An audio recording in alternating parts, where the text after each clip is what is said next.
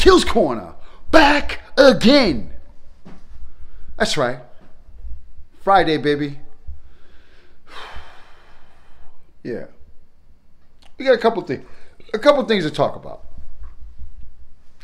Uh, but first, smash the like button, hit the subscribe button, leave comments in the comment section. It's Kils Korner, baby. And like you say, let's get into it.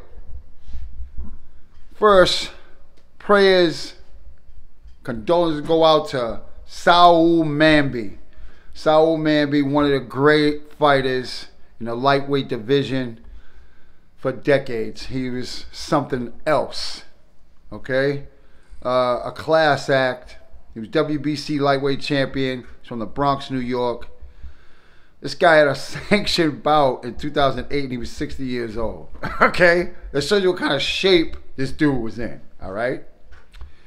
Uh, pro debut in 1969. The guy fought Duran, he fought McGirt, he fought Ronnie Shields, and just an all around great fighter, great person, and one of the great ones. All right? He will be missed. Saoul Mamby, prayers to you and your family. Kils Korner salute you. Now, also, an announcement for you New England fans uh, February 8th uh, will be Mark DeLuca against Kell Brooks. And Mark left today to fly over there to England, start his training camp. February 8th, he'll be duking it out with Kell Brooks. This is Mark DeLuca's big chance. That's all I have to say. This is it right here. So he's got to look, uh, got to look good, got to look impressive, and first of all, he's got to win. He has to. All right. So good luck to you, Mark. New England salute you. They're behind you, and good luck to you. Now, have a good one. Now let's talk about this awards thing for World Boxing News Fighter of the Year. They got Canelo, Manny, Errol, Naoya, Dante, Anthony Joshua. We'll come back to that.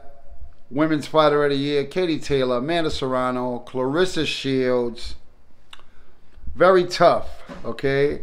Who to pick between that? I don't know. I've never really seen Serrano fight, but she's got all those belts and Claressa's a good fighter.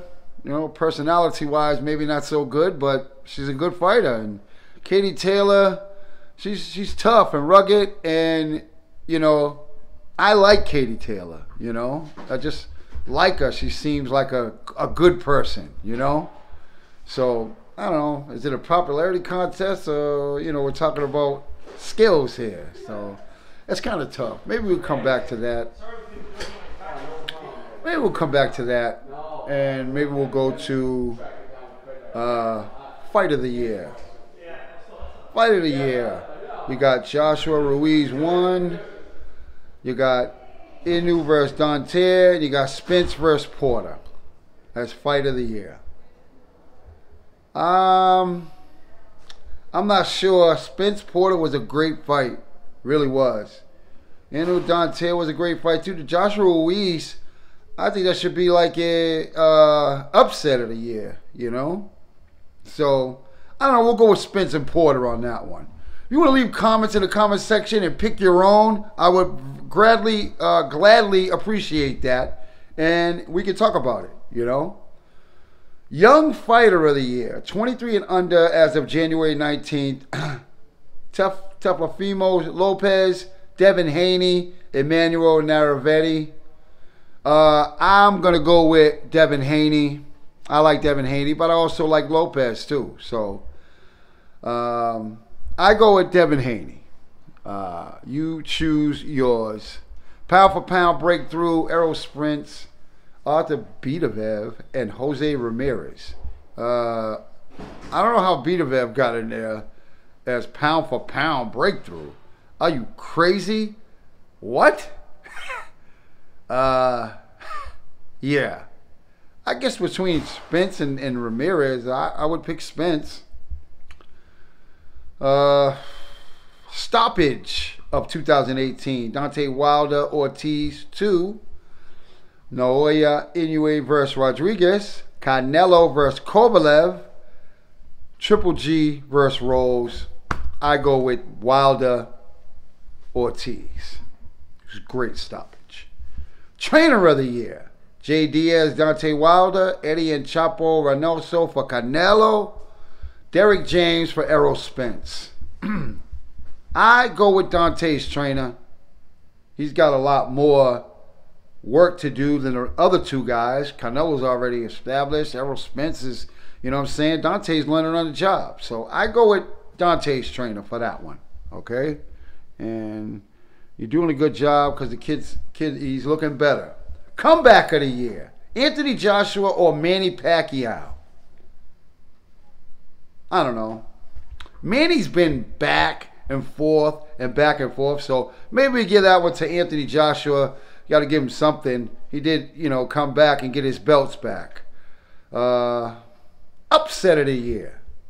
Julian Williams, Anthony Canicio, Andy Ruiz. Which one? You go Ruiz or Julian Williams? I think it's Andy Ruiz. Probably the biggest uh, upset, you know what I'm saying, for the heavyweight belts. Got Joshua's belts. Yeah, I think Andy Ruiz for that one. Now, fighter of the decade, you got Andre Ward, you got Canelo, and you got Floyd Mayweather. Who are you picking on that one? Me? I mean, I'm going to go with Andre Ward. The guy's been undefeated since he was 14 years old, okay?